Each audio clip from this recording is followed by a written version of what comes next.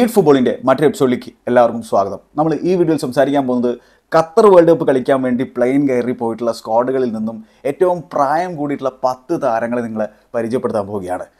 അതായത് നമുക്കറിയാം കഴിഞ്ഞ പിന്നെ വേൾഡ് കപ്പിലായിരുന്നു റഷ്യ വേൾഡ് കപ്പിലായിരുന്നു ഫിഫ വേൾഡ് കപ്പിന്റെ ചരിത്രത്തിലെ ഏറ്റവും പ്രായമേറിയിട്ടുള്ള ആൾ ഗ്രൗണ്ടിൽ ഇറങ്ങി വേൾഡ് കപ്പ് കളിച്ചിട്ടുണ്ടായിരുന്നത്. ആൾ സ്ക്വാഡിൽ ഉണ്ടാവുക മാത്രമല്ല ഉണ്ടായിരുന്നത്. ആൾ കളിക്കുകയും ചെയ്തു. അത് എസാം അൽ ഹദാരി എന്ന് പറയുന്ന ഈജിപ്തിന്റെ ഗോൾ കീപ്പറായിരുന്നു അന്ന് ആ ഒരു മത്സരം ആൾ കളിക്കുമ്പോൾ ആളുടെ പ്രായം എന്ന് പറയുന്നത് നാൽപ്പത്തിയഞ്ച് വയസ്സും നൂറ്റി അറുപത്തൊന്ന് ദിവസമായിരുന്നു അപ്പോൾ ഈജിപ്തിനെ സംബന്ധിച്ചിടത്തോളം വളരെ ഡിസപ്പോയിന്റിംഗ് ആയിട്ടുള്ള ഒരു ക്യാമ്പയിൻ ആയിരുന്നു കഴിഞ്ഞ വേൾഡ് കപ്പ് എന്ന് പറയുന്നത്. അതായത് റഷ്യ വേൾഡ് കപ്പ് അവർ ആദ്യത്തെ രണ്ട് മത്സരങ്ങൾ പരാജയപ്പെടുകയും എന്തായാലും ഡിസപ്പോയിന്റിംഗ് ആയിട്ടുള്ള വേൾഡ് കപ്പാണ് അപ്പോൾ എന്തെങ്കിലും തരത്തിലൊരു ചരിത്രം സൃഷ്ടിച്ചിട്ട് തിരിച്ചു പോകാമെന്നുള്ള ഒരു കരുതലിന്റെ ഭാഗമായിട്ടായിരിക്കാം അവർ എസ് എം ഹലദാരി എന്ന് പറയുന്ന അവരുടെ ആ വെറ്ററൻ കീപ്പർക്ക് മൂന്നാമത്തെ മത്സരത്തിൽ ഗ്രൂപ്പ് സ്റ്റേജ് മത്സരത്തിൽ കളിക്കാനൊരു അവസരം കൊടുത്തത്. അങ്ങനെയാണ് ആ ഒരു ചരിത്രം അവിടെ ഉണ്ടായിത്തീരുന്നത്. അങ്ങനെ അദ്ദേഹം ഏറ്റവും പ്രായമേറിയിട്ടുള്ള വേൾഡ് കപ്പിന്റെ ചരിത്രത്തിലെ പിന്നെ കളിക്കാരനായിട്ട് മാറുന്ന ചിത്രമാണ് നമ്മൾ കണ്ടത് കഴിഞ്ഞ വേൾഡ് കപ്പിൽ അപ്പോൾ അത്തരത്തിൽ ഈ വേൾഡ് കപ്പിൽ ആരൊക്കെയാണ് പിന്നെ പ്രായമേറിയിട്ടുള്ള ആളുകൾ കളിക്കാൻ പോകുന്നത്?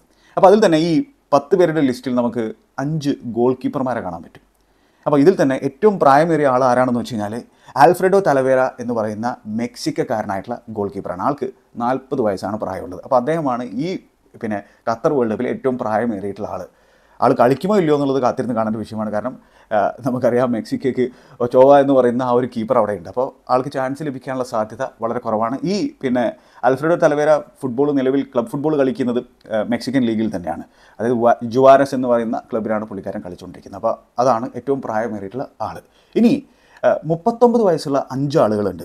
അതിൽ തന്നെ ഏറ്റവും പ്രായമേറിയിട്ടുള്ള ആളെന്ന് പറയുന്നത് അറ്റിബ ഹച്ചിൻസൺ എന്ന് പറയുന്ന കനേഡിയൻ ഫുട്ബോൾ ടീമിന്റെ ക്യാപ്റ്റനാണ് അപ്പോൾ ഏഹ് കാനഡയുടെ മാത്രമല്ല ക്ലബ് ഫുട്ബോളിൽ ആൾ ബെഷിക്ടാസിന് വേണ്ടിയിട്ടാണ് കളിക്കുന്നത് തുർക്കിഷ് ലീഗിൽ അദ്ദേഹം പിന്നെ ഈ ബെഷിക്ടാസിന്റെയും ക്യാപ്റ്റനാണെന്നുള്ള കാര്യം ഓർക്കുന്നുണ്ട്. വളരെ ഇമ്പോർട്ടന്റ് ആയിട്ടുള്ള ഈ ഈ പിന്നെ കാനഡയുടെ ഒരു ഫിഗറാണ് ഈ അറ്റീബ ഹച്ചിൻസൺ. അപ്പോൾ ആൾ സംബന്ധിച്ചിടത്തോളം ആളൊരു ഡിഫൻസീവ് മിഡ്ഫീൽഡറാണ് അപ്പോൾ കാനഡയ്ക്ക് വേണ്ടി സ്റ്റാർട്ട് ചെയ്യുന്നുള്ള കാര്യത്തിൽ സംശയമൊന്നുമില്ലാത്ത സംഭവമാണ്. അപ്പോൾ ആളാണ് മുപ്പത്തൊമ്പതുകാരനായിട്ടുള്ള അറ്റീബ ഹച്ചിൻസൺ. രണ്ടാം സ്ഥാനത്താണ് ലിസ്റ്റിൽ നിൽക്കുന്നത്. ഇനി മൂന്നാം സ്ഥാനത്തുള്ളത് പെപ്പയാണ്.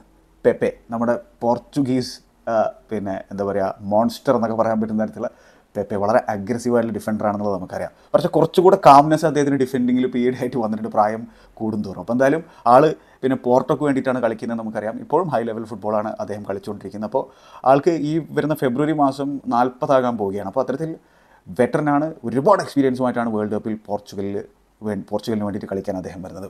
പെപ്പയാണ് മൂന്നാം സ്ഥാനത്തുള്ളത്. നാലാം സ്ഥാനത്ത് ഇ ജി കവഷിമ എന്ന് പറയുന്ന മുപ്പത്തൊമ്പതുകാരനായിട്ടുള്ള ജാപ്പനീസ് ഗോൾ കീപ്പറാണ് അപ്പോൾ ആൾ പിന്നെ ഫ്രഞ്ച് ലീഗിലാണ് നിലവിൽ കളിച്ചുകൊണ്ടിരിക്കുന്നത് അവിടെ സ്ട്രോസ്ബർഗിന്റെ സെക്കൻഡ് കീപ്പറൊക്കെ ആയിട്ടാണ് ആളുള്ളത്. അപ്പോൾ ആൾ പിന്നെ ഒരു പ്രായമേറിയ താരമാണ്. ജാപ്പനീസ് ഫുട്ബോളിൽ ടീമിനെ സംബന്ധിച്ചിടത്തോളം എക്സ്പീരിയൻസ് ആ ഒരു ടീമിൽ കൊണ്ടുവരാൻ പറ്റുന്ന തരത്തിലുള്ള പ്ലെയറാണ് ആളും സ്റ്റാർട്ട് ചെയ്യാനുള്ള സാധ്യത വളരെ കുറവാണ്. പിന്നെ ഡാനി ആൽവസ് ഡാനി ആൽവസിനെ പറ്റിയിട്ട് എന്താ പ്രത്യേകിച്ച് എന്തെങ്കിലും പറയണോ? മുപ്പത്തൊമ്പതുകാരനാണ് മെയ് മാസം വരുമ്പോൾ നാൽപ്പത് വയസ്സാവും അദ്ദേഹത്തിന്. മെക്സിക്കൻ ലീഗിലായിരുന്നു ആൾ കളിച്ചുകൊണ്ടിരുന്നത് എന്തായാലും ടീറ്റെ ആളിനെ പിന്നെ ബ്രസീലിയൻ സ്ക്വാഡിൽ ഇൻക്ലൂഡ് ചെയ്തിരിക്കുകയാണ്. മാത്രമല്ല ആളുടെ എക്സ്പീരിയൻസും ഇതൊക്കെ ആ ടീമിന് ഗുണം ചെയ്യും എന്നുള്ള രീതിയിൽ തന്നെ ആയിരിക്കും അല്ലെങ്കിൽ ആ ഡ്രസ്സിംഗ് റൂമിൽ വലിയ രീതിയിലുള്ള പ്രസൻസ് ആയിരിക്കും ആൾ എന്നുള്ളത് കരുതി തന്നെയായിരിക്കും ടീറ്റെ എന്ന് പറയുന്ന ബ്രസീലിയൻ കോച്ച് ഈ ഡാനി ആൽവസിനെ ഇൻവോൾവ് ചെയ്തിട്ടാണ് ഉണ്ടാവുക ആ ഒരു സ്ക്വാഡിൽ അപ്പോൾ ഡാനി ആൽവസും വേൾഡ് കപ്പിലേക്ക് വരികയാണ്. പിന്നെ റെംകോ പസ്വീർ. റെംകോ പസ്വീറിനെ സംബന്ധിച്ചിടത്തോളം അയാക്സിന്റെ ഗോൾ കീപ്പറാണ് മുപ്പത്തൊമ്പത് വയസ്സുണ്ട് പുള്ളിക്കാരന്. ഈ റെംകോ പസ്വീറിനെ സംബന്ധിച്ചിടത്തോളം കൗതുകരമായിട്ടുള്ള കാര്യം എന്താണെന്ന് വെച്ച് കഴിഞ്ഞാൽ ആൾ ആളുടെ നെതർലാൻഡ്സ് ഡെബ്യൂ ഈ അടുത്താണ് നടത്തിയത്. അതായത് ഈ കഴിഞ്ഞ സെപ്റ്റംബർ മാസത്തിലാണ് ആൾ നെതർലാൻഡ്സിന് വേണ്ടി ഡെബ്യൂ നടത്തിയിട്ടുള്ളത്. അതായത് നെതർലാൻഡ്സിന് വേണ്ടി പിന്നെ ഡെബ്യൂ നടത്തുന്ന സെക്കൻഡ് ഓൾഡസ്റ്റ് പ്ലെയറാണ് ഈ റെംകോ പസ്വീർ എന്ന് പറയുന്ന കീപ്പർ അപ്പോൾ വളരെ ലേറ്റ് ആയിട്ടാണ് അദ്ദേഹത്തിന് ഈ ഡച്ച് കുപ്പായത്തിൽ കളിക്കാനുള്ള ഒരു അവസരം ലഭിച്ചിട്ടുള്ളത്. മാത്രമല്ല ഇപ്പോൾ ആൾ മിക്കവാറും ഒരു നമ്പർ വൺ ആയിട്ടാണ് പിന്നെ van Gaal Dutch coach consider ചെയ്യുന്നുള്ള തരത്തിലാണ് നമുക്ക് ബീലോ എന്ന് പറയുന്ന മറ്റൊരു കീപ്പർ കൂടി ഉണ്ട് ആര് ആ ഒരു വല കാക്കും എന്നുള്ളത് കൃത്യമായിട്ട് ഇപ്പോൾ നമുക്ക് പറയാൻ പറ്റില്ല. സിലിസിനെയൊക്കെ ആൾ പിന്നെ സ്ക്വാഡിൽ ഉൾപ്പെടുത്താത്ത കാര്യം നമുക്കറിയാം. അപ്പോൾ ഇൻട്രസ്റ്റിംഗ് ആണ് റെംകോ ബസ്വീറിനെ സംബന്ധിച്ചിടത്തോളം വലിയൊരു അവസരം വന്നെത്തിയത് തന്റെ മുപ്പത്തി ഒൻപതാമത്തെ വയസ്സിലാണ്. അപ്പോൾ ആൾ വേൾഡ് കപ്പ് കളിക്കാൻ പോവുകയാണ് അപ്പോൾ അയാക്സിന്റെ കീപ്പറാണ് റെംകോ പസ്വീർ പിന്നെ പോളണ്ടിനെതിരെയാണ് ഈ കഴിഞ്ഞ സെപ്റ്റംബറിൽ ആൾ നെതർലാൻഡ്സിന് വേണ്ടി ഡെബ്യൂ നടത്തിയത്. അപ്പോൾ അതും കൂടി പറയാമെന്ന് വിചാരിച്ചു. പിന്നെ അടുത്തത് ലിസ്റ്റിലുള്ളത് മുപ്പത്തെട്ടുകാരനാണ്. ഐമൻ മത്ലൂത്തി എന്ന് പറയുന്ന അല്ലെങ്കിൽ ഐമൻ ബൽഭൂലി എന്നൊക്കെ വിളിപ്പേരുള്ള ടുണീഷ്യക്കാരനായിട്ടുള്ള ഗോൾ കീപ്പറാണ് അപ്പോൾ അദ്ദേഹം മുപ്പത്തെട്ട് വയസ്സാണുള്ളത്. ടുണീഷ്യയുടെയും ഫസ്റ്റ് ചോയ്സ് ഗോൾ കീപ്പർ ഒന്നുമില്ല ഐമൻ മഥലൂത്തി അപ്പോൾ ആ ഒരു എക്സ്പീരിയൻസ്ഡ് ക്യാമ്പയിനറിനെ അവർ കൊണ്ടുവന്നിരിക്കുകയാണ് വേൾഡ് കപ്പ് സ്ക്വാഡിൽ ഇനി തിയാഗോ സിൽവ ഓ മോൺസ്ട്രോ എന്നൊക്കെ വിളിപ്പേരുള്ള തിയാഗോ സിൽവ ഒരു ഒരു റോക്കാണ് ആ ഒരു ഡിഫൻസിനെ സംബന്ധിച്ചിടത്തോളം. ആൾ ഈ മുപ്പത്തെട്ടാമത്തെ വയസ്സിലും ഹൈ ലെവൽ എലീറ്റ് ഫുട്ബോൾ തന്നെയാണ് കളിച്ചുകൊണ്ടിരിക്കുന്നത് ചെൽസിയുടെ ഡിഫൻസിന്റെ എന്താ പറയുക ഹൃദയത്തുടിപ്പാണ്. മാത്രമല്ല ബ്രസീലിന്റെയും ഡിഫൻസിന്റെ ഹൃദയത്തുടിപ്പാണ്. വല്ലാത്ത രീതിയിൽ ഫുട്ബോൾ കളിച്ചുകൊണ്ടിരിക്കുകയാണ് ആൾ പ്രായം കൂടുന്തോറും ആളുടെ ക്വാളിറ്റി വർദ്ധിക്കുക എന്നല്ലാതെ ഒരു തരത്തിലും ഏജ് ആളെ കാച്ചപ്പ് ചെയ്യുന്നതായിട്ട് നമുക്ക് തോന്നില്ല സ്വാഭാവികമായിട്ടും പിന്നെ പേസ് ഒക്കെ കുറഞ്ഞിട്ടുണ്ടാവും. പണ്ടും വലിയ രീതിയിൽ പേസുമായി ബന്ധപ്പെട്ട് കളിക്കുന്ന തരത്തിലുള്ള ഡിഫൻഡർ അല്ല. പക്ഷെ എന്നാൽ പോലും സ്വാഭാവികമായിട്ടും ആ ഏജിന്റെ ഭാഗമായിട്ടുള്ള ഇത്തിരി പിന്നെ എന്താ പറയുക പേസിലൊരു ഒരു കുറവ് വന്നിട്ടുണ്ടാകും. പക്ഷേ എന്നാൽ പോലും ആളുടെ പാസിംഗ് എബിലിറ്റി ആളുടെ ഗെയിം റീഡിങ് ക്വാളിറ്റി അത് വേറെ ലെവലാണ് ഗെയിം റീഡ് ചെയ്യാനുള്ള തിയാഗോ സിൽവയുടെ കഴിവുണ്ടല്ലോ. അപ്പോൾ അത് തന്നെ പല ഡേഞ്ചറസ് സിറ്റുവേഷനുകളെയും ടീമുകൾക്ക് തന്റെ ടീമിന് പിന്നെ എന്താ പറയുക ഡേഞ്ചറസ് സിറ്റുവേഷനിൽ നിന്ന് രക്ഷിക്കാൻ ആൾക്ക് സാധിക്കും എന്നുള്ളൊരു കാര്യം ഓർക്കേണ്ടത് അപ്പോൾ ഗെയിം റീഡിങ് എബിലിറ്റിയാണ് അദ്ദേഹത്തിന്റെ ഏറ്റവും ടോപ്പ് ക്വാളിറ്റി ഉള്ളത് പിന്നെ സ്വാഭാവികമായിട്ടും ആൾക്ക് ടാക്കിൾ ചെയ്യാൻ പറ്റും ഇന്റർസെപ്ഷൻസ് നടത്താൻ പറ്റും കിടലായിട്ടുള്ള ലോങ് ബോളുകൾ കൊടുക്കാൻ പറ്റും കിടലൻ passer of the ബോളാണ് what a player Thiago Silva എന്ന് പറയുന്ന ഓ മോൺസ്ട്രോ അപ്പോൾ ആ ബ്രസീലിയൻ ഡിഫൻസിന്റെ വളരെ ഇമ്പോർട്ടന്റ് ആയിട്ടുള്ള ഒരു ഫിഗറാണ് വളരെ വൈറ്റൽ ആയിട്ടുള്ള ഫിഗർ ഫിഗറാണ് ആൾ മുപ്പത്തി പിന്നെ എട്ടാമത്തെ വയസ്സിലും ടോപ്പ് ഫുട്ബോളാണ് കളിച്ചുകൊണ്ടിരിക്കുന്നത്. ആളുടെ അവസാനത്തെ വേൾഡ് കപ്പ് തന്നെയായിരിക്കും എന്നുള്ളത് നമുക്കറിയാം. അപ്പോൾ ഈ ലിസ്റ്റിൽ എല്ലാവരുടെയും ലാസ്റ്റ് വേൾഡ് കപ്പ് ആകാൻ തന്നെയാണ് സാധ്യത. പിന്നെ ഉള്ള പേരെന്ന് പറയുന്നത് സാക്ഷാൽ ക്രിസ്ത്യാനോ റൊണാൾഡോ. അതായത് ക്രിസ്ത്യാനോ റൊണാൾഡോയെ പറ്റിയിട്ട് എന്തെങ്കിലും പ്രത്യേകിച്ച് പറയേണ്ടതുണ്ടോ? കാരണം നമുക്കറിയാം ഫുട്ബോൾ ലോകം കണ്ട ഏറ്റവും മികച്ച കളിക്കാരിൽ ഒരാളാണ് ക്രിസ്ത്യാനോ റൊണാൾഡോ. തർക്കമില്ലാത്ത സംഭവമാണ്.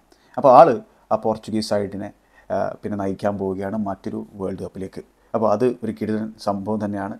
അപ്പോൾ ഈ പോർച്ചുഗീസ് സൈഡിനെ സംബന്ധിച്ചിടത്തോളം കിഡിലനായിട്ടുള്ള സ്കോഡ് സ്ട്രെങ്ത് അവർക്കുണ്ട്. അപ്പോൾ ഈ റൊണാൾഡോയെ സപ്പോർട്ട് ചെയ്യാൻ ഒരുപാട് സപ്പോർട്ടിംഗ് കാസ്റ്റിൽ ഒരുപാട് ക്വാളിറ്റി താരങ്ങളുണ്ട്. അപ്പോൾ അവർക്ക് പിന്നെ എന്താ പറയുക ഒന്ന് ഒരു ഒത്തൊരുമയോടുകൂടി കളിച്ചു കഴിഞ്ഞാൽ അവർക്ക് വേൾഡ് കപ്പ് തന്നെ അടിക്കാൻ പറ്റുന്ന തരത്തിലുള്ള ഒരു ഒരു സ്ക്വാഡാണ് കാരണം അത്രയധികം top quality players all over the പിച്ചുള്ള ഒരു ഒരു സൈഡാണ് ഈ പോർച്ചുഗൽ. അപ്പോൾ ആ പോർച്ചുഗലിന്റെ നായകനായിട്ട് ക്രിസ്ത്യാനോ റൊണാൾഡോ ഉണ്ട്. അദ്ദേഹമാണ് ഈ ടീമിനെ ലീഡ് ചെയ്യാൻ പോകുന്നത്. പിന്നെ ആ ഒരു നമ്പർ നയനായിട്ട് കളിക്കാൻ പോകുന്നത്.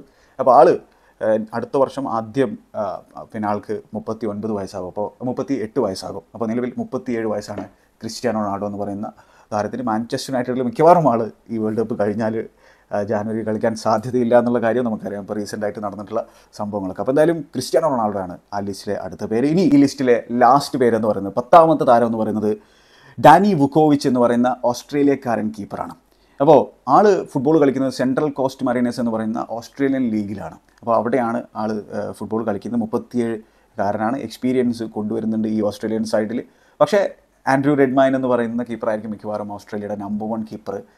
പിന്നെ ആ ഒരു പ്ലേ ഓഫിന്റെ വേൾഡ് കപ്പ് പ്ലേ ഓഫിന്റെ ഫൈനലിലൊക്കെ വലിയ രീതിയിലുള്ള പ്രകടനങ്ങൾ ആൾ കാഴ്ചവെക്കുന്നത് നമ്മൾ കണ്ടതാണ്. അപ്പോൾ എന്തായാലും ആൾ റെഡ്മൈൻ തന്നെയായിരിക്കും ഫസ്റ്റ് ചോയ്സ് കീപ്പർ. പക്ഷേ ഇബുക്കോവിച്ചിന്റെ ബുക്കോവിച്ചിന്റെ ഡാനി ഇബുക്കോവിച്ച് എന്നത് മുപ്പത്തിയേഴുകാരന്റെ പ്രസൻസ് ആ ഒരു ഓസ്ട്രേലിയൻ സൈഡിന് ചിലപ്പോൾ ഗുണം ചെയ്യാനുള്ള സാധ്യതയുണ്ട്. അപ്പോൾ എന്തായാലും അത്തരത്തിലാണ് ഈ പത്ത് പിന്നെ പ്രായമേറിയ താരങ്ങൾ ഈ വേൾഡ് കപ്പിലേക്ക് പോകുന്നത്. അപ്പോൾ ഒരു ഇൻട്രസ്റ്റിംഗ് ആയിട്ടുള്ള ഒരു ടോപ്പിക്കായിട്ട് എനിക്ക് തോന്നി. അപ്പോൾ എന്തായാലും നിങ്ങളുടെ അഭിപ്രായങ്ങൾ കമന്റ് ബോക്സിൽ രേഖപ്പെടുത്താൻ മറക്കരുത്. മറ്റൊരു അധ്യായത്തിൽ നമുക്ക് വീണ്ടും കാണാം. Good bye